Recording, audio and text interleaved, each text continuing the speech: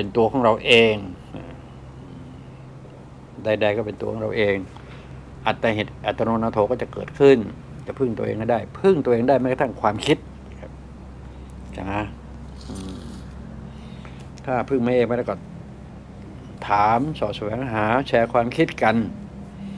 ประมาณนั้นนะครับ ต้องเปิดใจใจคนต้องเปิดใจ คนไหนไม่เปิดใจแต่คนนั้นก็ก่อนไม่จะว่างครับ อันนี้ลุงก็ไม่สามารถทดแทนใครได้นะครับ เรามีความรู้สึก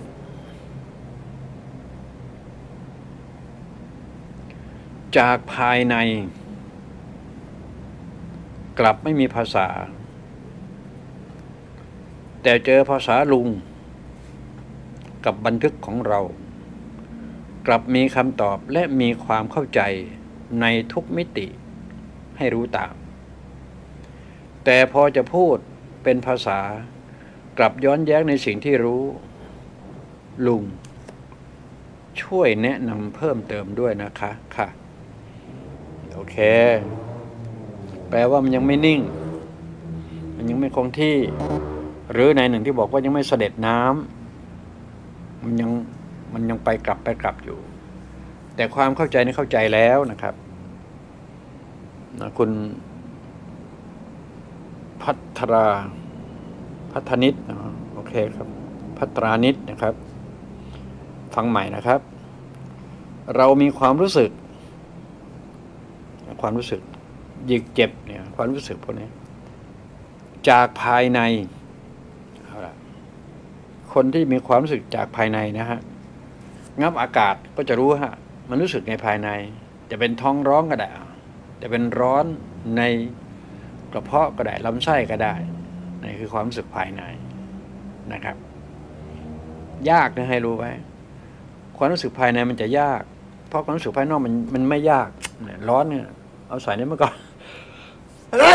ขอไปครับเนี่ยอย่างนี้ในความรู้สึกภายนอก แป๊บเดียวมันก็รู้แล้ว แต่ทำให้เกิดความรู้สึกภายในเนี่ยยากนะครับให้รู้ไว้เพราะฉะนั้นการนำพาให้เกิดความรู้สึกภายในได้ง่าย งับอากาศนี่ ผมเห็นว่าง่ายที่สุดแล้ว ที่จะไปร่วงรู้ ถึง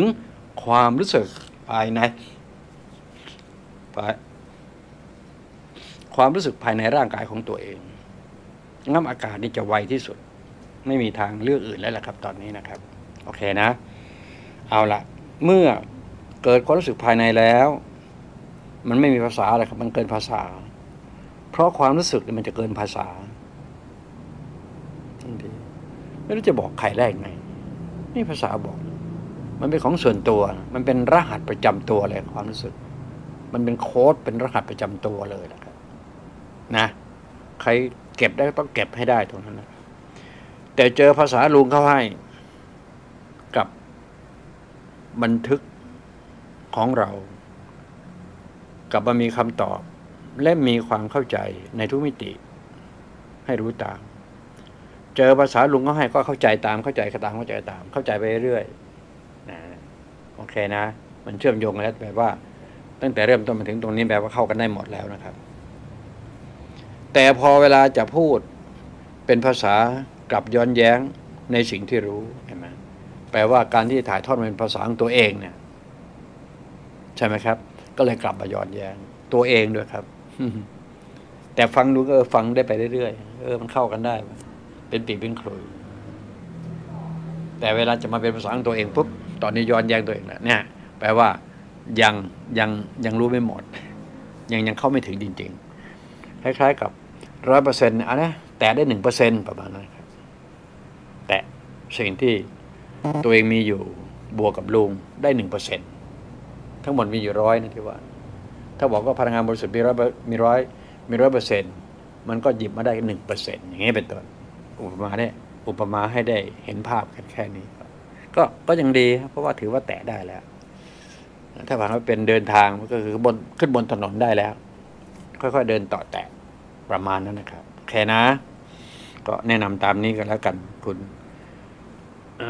พัฒนิตนะครับ